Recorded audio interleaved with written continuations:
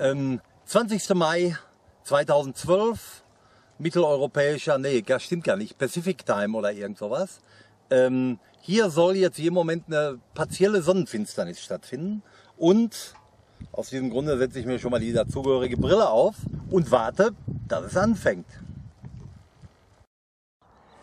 Das Problem dabei ist, äh, die Sonne ist zwar da, aber es ist kein Mond in der Nähe, der ja eigentlich auch dafür gebraucht wird für so eine Sonnenfinsternis.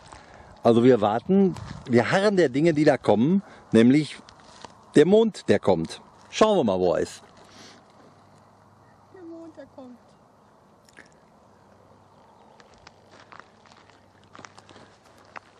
So, ein paar Minuten später stellt sich dann raus, die Sonnenfinsternis ist gar nicht um 5.10 Uhr, sondern erst um 6.29 Uhr. Also Brille wieder ab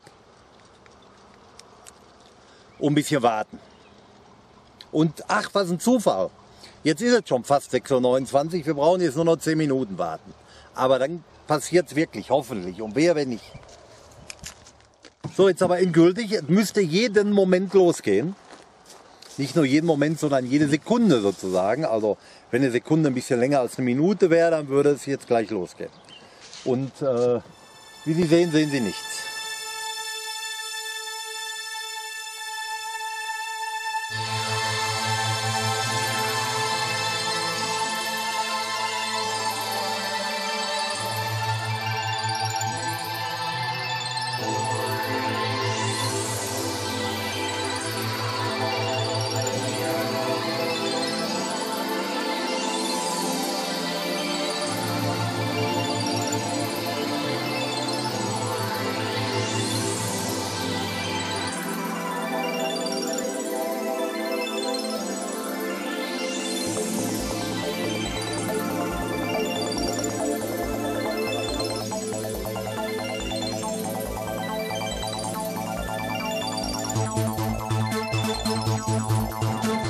Ja, das war so die weltberühmte Sonnenfinsternis. Wie man gesehen hat, hat man eigentlich nichts gesehen.